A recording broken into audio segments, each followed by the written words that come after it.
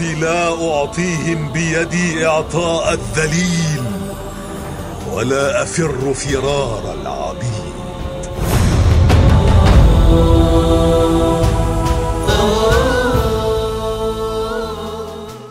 A group of 72 men, women, and children stood in the face of 30,000 soldiers in the deserts of Karbala. Among the 72 was a man known to be as one of the leaders of the Youth of Paradise.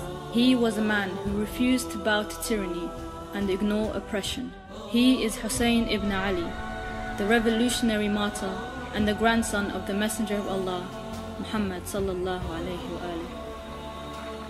That Hussein is the embodiment of patience. That Hussein is the embodiment of dignity.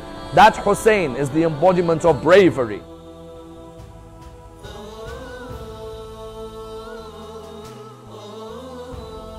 I have left the world for the sake of you, and I have orphaned my children so that I may see you.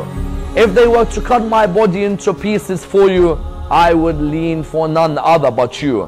Hussein said those words, Gandhi was affected. Hussein said those words, Charles Dickens was affected. Hussein said those words, mystics were affected. Philosophers were intrigued. Theologians wondered, who is this personality?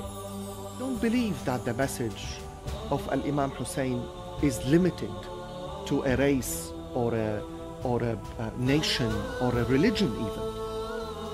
Hussein becomes a role model and example for every human being. Imam Hussein is the accessor, Misbah al-Huda of everything. The light is the is the follower. If you follow Imam Hussein, then everything will be God.